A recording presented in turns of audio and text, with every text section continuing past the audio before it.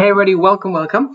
So uh, in this tutorial, which is going to be a little bit shorter, I want to show you a very cool, fascinating uh, Dash component, which is called before after. This was recently created by Emil Eriksen, and it's cool because it's based on the on the React before and after um, uh, slider that um, is built with JavaScript, I think. And so this one is with Python. And it, it can add a really nice element um, to your dashboard app if you want to sell a product or you want to sell a service. The user can see the before and after of, of that product or service. Now, this is part of the Dash extensions library 0047, so you would have to um, down install this library. This library exists outside of the uh, Dash main documentation. So as you know, Dash has all the core components like the checklist, the dropdown, the graph, several components that I've talked about in previous videos. Um, but there are also, outside of this, um, you have these libraries here. Components. So um, Emil created um, some components here that are very, very useful, and we'll go over some of these components in the future um, to, to enhance your app, to, to add a, a lot more uh, great functionality to your dashboard app in, in, in uh, with Dash Plotly.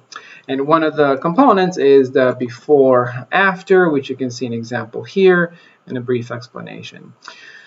So let's see how we do that. Um, let's go into our GitHub. Obviously, if you want to download the code, go into my, all these are all the components I've talked about in previous tutorials. Just go into the before and after, and here is the code. Make sure that any of the uh, uh, images that we use are in the assets folder. It has to be spelled correctly, and it has to be in the same folder where the, the before after .py file exists in the assets, and then you can put here all your pictures. Okay, this is important.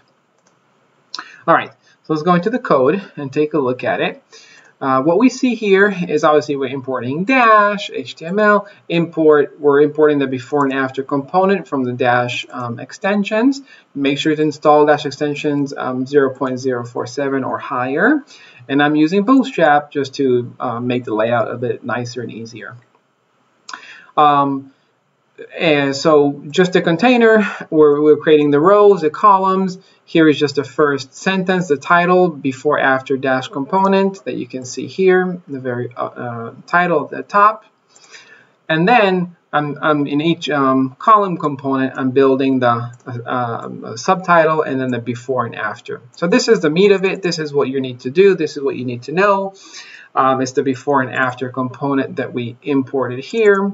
So we use this and then we define the before. We assign the JPG or, or, or the PNG. Also, you can put JPEG, uh, you can put GIF, you can put several different um, um, uh, image types, uh, but it has to come from the assets folder.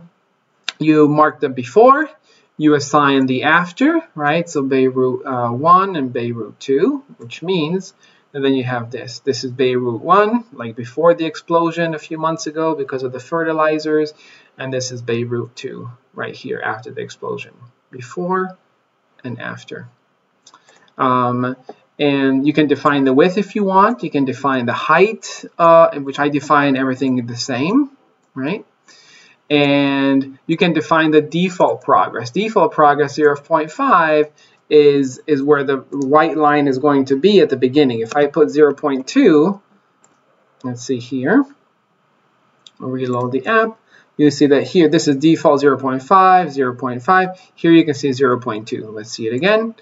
You see 0.2, and then all the rest are 0 0.5 right in the middle. All right.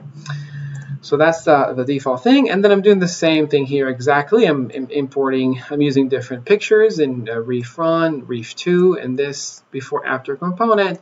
And I'm not defining the default progress. So by default, it's going to be 0.5. If you don't define it, it'll be 0.5. Um, here you have the, the sources of every image. If you want to take a look at them.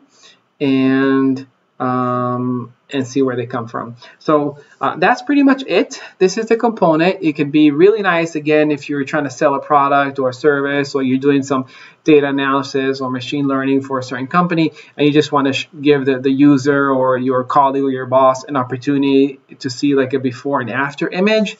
Um, it's just two static images, before and after. You can do it however you want. You can, if you do satellite imagery, or you're in the conservation field, or you're in chemistry. This I kind of like how you put methane and two molecules of um, of um, oxygen actually, if you mix them together, it creates uh, carbon dioxide and two molecules of water. So that's pretty cool. I learned that for this app. Um, and this is just a fertilized egg of a Ciona. Ciona, if you don't know what it is, because I didn't know what it is, it's a sea squirt. And this is a an egg before it's fertilized, and this is the egg after it is fertilized. So a lot of fertilization things going on in there and, and obviously this. Um, so that's it. That's a component.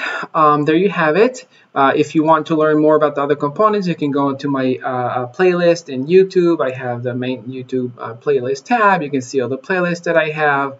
One of them is the Dash components. Click on that.